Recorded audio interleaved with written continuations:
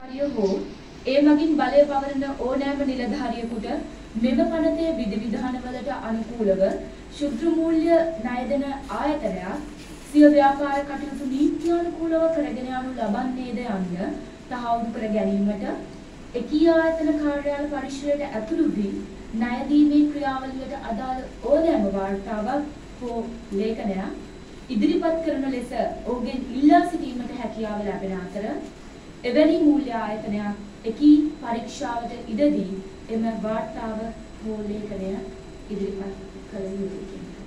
ඒ කියන්නේ මේ නියාමන අධිකාරියට මැදිහත් වෙලා ඒ පවත්වාගෙන යන ලේඛන ගොනු පරීක්ෂා කරන්න තියෙන හැකියාව. යෝජනා අංක 22 ශුද්‍ර මූල්‍ය නියාමන අධිකාරියට ඉහත වගන්තිය අරමුණ සඳහා මම කලින් කරපු යෝජනාව අ, වගන්ති අරමුණ සඳහා පරිශ්‍රය පරීක්ෂා කර ඕනෑම ලේඛනයක් සිය සම්තකයට පත් කරගත හැකි විය යුතු අතර විමසීම් නඩු පැවරීම් හෝ වෙනත් නීතිමය ක්‍රියාමාර්ග යන අරමුණු වෙනුවෙන් අවශ්‍ය කාල සීමාව සඳහා පමණක් ඒවා සම්තකයේ තබා ගැනීමට හැකි විය යුතුය කියන කාරණය. ඒ අ, ඒ ලේඛන සන්තකයට ගන්න පුළුවන් යම් කිසි ඉන්ක්වයරි එකක් කරන්න එහෙම නැත්නම් අඩු කටයුත්තකට යනවා නම් ඒ අන්න ඒ කියන පර්පස් එකට ඒ ડોකියුමන්ට්ස් ඒ ලේඛන විවිසුම් ආදිය ශුද්ධ මූල්‍ය නියාමන අධිකාරියේ ස- අධිකාරියේ සන්තකයේ තබා ගැනීමේ හැකියාව සම්බන්ධවයි මේ යෝජනාව. යෝජනා අංක 23 මෙම පනතේ විධ විධාන උල්ලංඝනය කිරීම සම්බන්ධයෙන් ඕනෑම ණය ගැනුම්කරුවෙකුට හෝ ඕනෑම මහජන සමාජිකයෙකුට ශුද්‍ර මූල්‍ය ණය දෙන ආයතනයට විරුද්ධව ශුද්‍ර මූල්‍ය නියාමන අධිකාරියට පැමිණිල්ලක් අ, ගොනු කිරීමට හැකියාව ලැබිය යුත්තේය. එවන් අවස්ථාවකදී හේතු දැක්වීමට සාධාරණ අවස්ථාවක් එකී මූල්‍ය සමාගමට ලැබීමෙන් අනතුරුව සුදුසුයයි හැඟෙන නියෝග සම්මත කිරීමට ශුද්‍ර මූල්‍ය නියාමන අධිකාරියට බලය පැවතිය යුතුය කියන කාරණය. එතකොට මේ යෝජනාව පවා අ, අපි ගන්න මූලිකම අ, අධ්‍යයන ක්‍රියාවලියේදී මේක ගන්න ඕනි කියලා හිතුනේ අ, ආන්ධ්‍ර ප්‍රදේශ වල අ, පාස් කරපු මේ පනත් පනතත් එක්ක සම්බන්ධව බලලා එතකොට අ,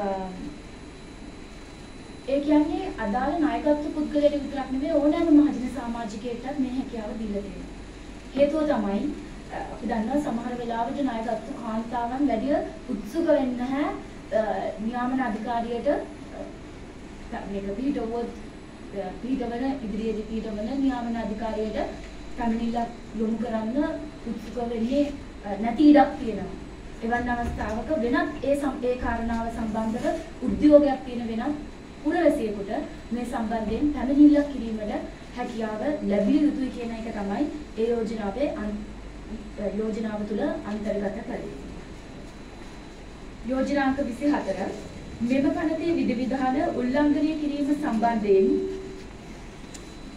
හෝ ණයදෙන ආයතනයකට එරෙහිව පැමිණිලි වාර දෙකකට වඩා වැඩි සංඛ්‍යාවක් ලැබී ඇතනම් එවන් විටකදී ශුද්‍ර මූල්‍ය ආයතනයේ ලියාපදිංචිය తాවකාලිකව අත්හිටු වීමට කටයුතු අ, කළ යුතුයි කියන යෝජනාව. මොකද ඒක වාර දෙකකට වැඩි වාර්තා වෙනවා කියන්නේ ඒක අ, හොඳ ප්‍රැක්ටිස් එකක් වෙන්නේ නැහැ කියන අ, පදනම මට ඉඳගෙන. අ, යෝජනාංක 25 ශුද්ධ මූල්‍ය ණය මුදලක් අයදුම් කිරීමේදී සෑම කණ්ඩායමකම කණ්ඩායමකම සමාජිකයෙක් විසින්ම එකී ස්වයං දැකියාව සඳහා වූ ව්‍යාපෘතියක් ඉදිරිපත් කළ යුතුයි. එකී සමාජිකයෙකුගේ නැවත ණයබාරික අය කරගත යුත්තේ එකී ස්වයං රැකියාවෙන් සාධාරණ ලෙස ලාභයක් උත්පාදනයට ගතවන සාධාරණ කාලය තුලදී වන අතර එකී සාධාරණ කාලය මාස 3කට නොඅඩු කාලයක් විය යුතුය කියන යෝජනාව. අ, මේ යෝජනාව එන්නෙම අ, අපි දන්නවා බොහෝ ශුද්‍ර මූල්‍ය ණය ගන්න ගැලුම්කරුවෝ අතිබහුතරක් වෙච්ච කාන්තාවන් ගත්තාම අ, අවුරුදු කන්න ණය ගන්නේ. අ, සමහර වෙලාවට අ, විශේෂයෙන් අ, අපි හිතමු පාසල් උප කරන ගණන් ගිහින් තියෙන දරුවෝ දෙතුන් දෙනෙක් ඉන්න පවුල්වල ඊළඟ අවුරුද්දට යන පොත් ටික ගන්න ණය ගන්නේ. අ, ඔන්න ඔය වගේ ඉතාමත්ම කියන්නේ එදිනෙදා අවශ්‍යතාවන් වලට ණය ගන්න තත්ත්වයකට පත් වෙනවා. මේ ඉතා විශාල පොලියකට යටතේ.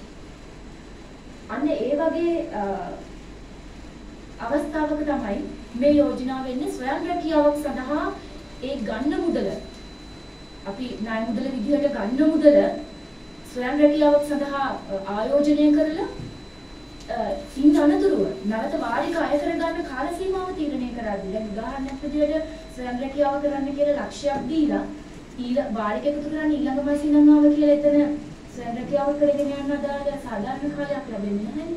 ඒ නිසා තමයි මේ යෝජනාව අන්තර්ගත වෙන්නේ මාස 3කට නොඅඩු කාලයක්. අදම මාස 3ක් ඒ සාධාරණ කාලය ලෙස සැලකිය යුතුයි කියලා යෝජනාව. යෝජනා අංක 26 ණය ලබාගත් සමාජිකයා ස්ථිරාබාධ තත්ත්වයකට පත්වීම යම්කිසි දේව ක්‍රියාවක් යටතේ සිය ආර්ථිකය බිඳ වැටීම ආදී සිදුවන අවස්ථාවකදී සිය ණය සම්පූර්ණයෙන්ම කපා හැරීම සම්බන්ධයෙන් යම් ඉල්ලීමක් ශුද්ධ මූල්‍ය නියාමන අධිකාරියට සිදු කිරීමට සෑම සමාජිකයෙකුට හැකියාව ලැබිය යුතු අතර එවන් අවස්ථාවකදී එය සාධාරණව විශ්වාස කළ හැකි බවට තොරතුරු ඉදිරිපත් වී ඇති බවට සෑහීමකට පත්වන්නේ නම් එම ණය කපා හැරීමට ශුද්ධ මූල්‍ය නියාමන අධිකාරිය විසින් කටයුතු කළ යුතුය කියන යෝජනාව. මේක දාන්නෙම යම් ආකාරයකින් දැන් ස්ථිරාබාධ තත්යකට පත් වෙනවා.